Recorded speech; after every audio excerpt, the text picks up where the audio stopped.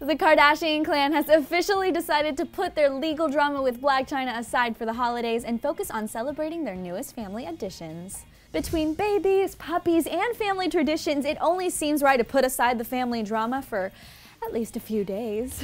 The Kardashians sure have had a lot to celebrate over the weekend as the newest addition to the family turned a whopping one month old. Proud parents Rob and Blac Chyna took to their social accounts to share photos and videos of their bundle of joy Dream Kardashian, who turned one month on Saturday.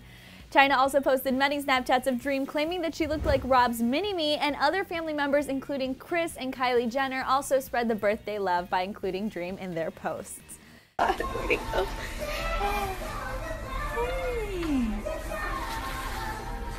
Dream. Kris fulfilled her mom duties over the weekend by spreading a large amount of holiday cheer with the entire family all under one roof. Well, one edible roof, that is. Kylie posted Snapchats of Kris's traditional family gingerbread house complete with each name of the ever-growing family and all drama involving Chyna attempting to trademark the Kardashian name aside, we're happy to report the Dream's mother, Angela, got her very own spot on the house. One big ass family. Look at all of us.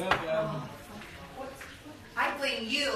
But speaking of ever-growing families, Kylie Jenner continues to expand her four-legged family after deciding to keep the puppies of her own dogs, Bambi and Norman, and their accidental pregnancy, and more recently adding a husky puppy to the mix.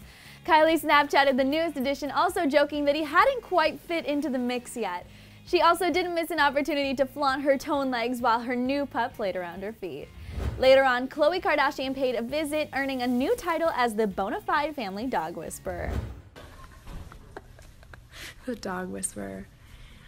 What a weekend of happiness for the famous family who was thankfully able to set aside all the drama and hopefully will continue to do so throughout the remainder of the holidays. But right now we got a lot of ground to cover, so share all of your thoughts on the Kardashian birthdays, holidays, and dog days right down here in the comment section below. And after that, be sure to click right here to check out some of the hottest new couples of 2016 on a brand new Debatable. Thanks for hanging out with me here on Clevver News. I'm your host, Paulina Sariga, and I'll see you next time.